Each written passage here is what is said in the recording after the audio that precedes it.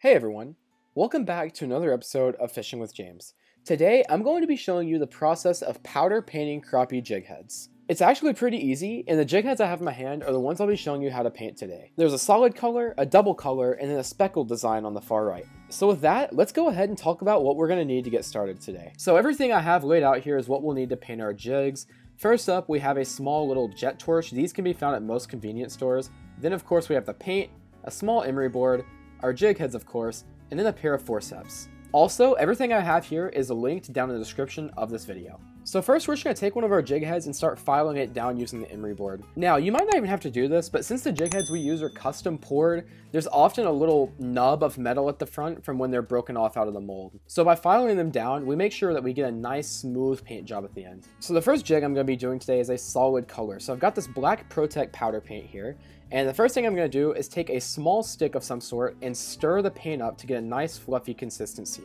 I'm using a paintbrush right here just because it'll be used in a later jig, but anything that'll stir the paint will work. Once the paint is nice and stirred up, we're just going to take our forceps and grab a hold of the jig on the eye. It's important to grab it here just so that no paint gets stuck in there when we paint it. Once the paint is all stirred up, we're going to take our jet torch and evenly heat all sides of the jig.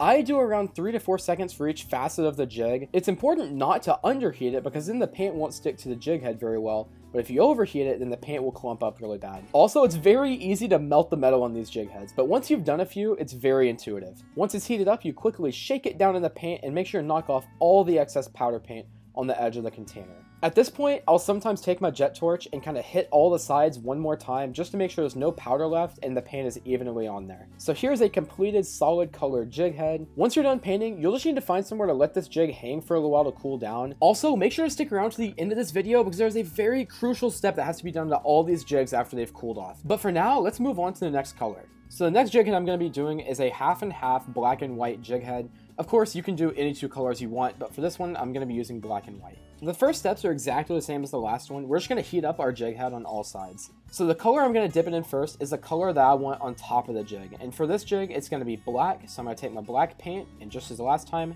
dip it in real quick and shake off the excess. Now since the belly of this jig head is going to be white, I'm just going to take my white paint and very slowly dip the bottom half of the jig head into the paint, just like that.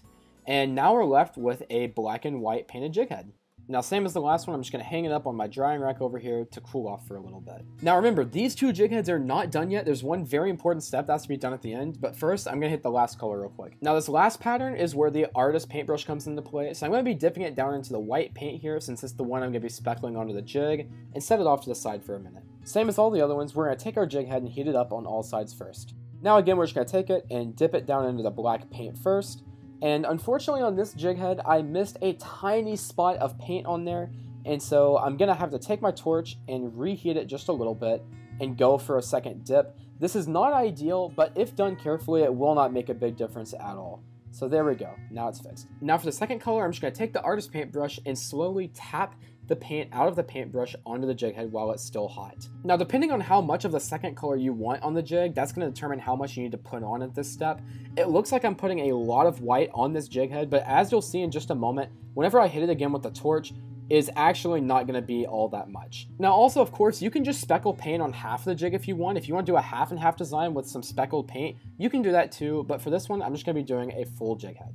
Now what I'm going to do is just go over the jig head again with the torch just to make sure the white paint sets good. What you'll notice is that the white paint kind of clumps together a little bit and it reduces the amount of white that's actually on the jig. And once you're done with that, you're left with this awesome double colored speckled jig head. If you're into tying jigs, you can make a lot of really cool jigs using this speckled pattern. Like for me, I did this really cool cookies and cream jig and I put more black paint on the top of it to match the back better. The sky's the limit when it comes to painting jigs like this. But now on to the last step. So you can fish these jigs right after they're done cooling, but over time the paint's want to chip on you. So what you have to do is bake these jigs to help harden the paint. So what I've got here is a little clamp, and I'm to take these jigs one by one and push them down into the clamp, just like that.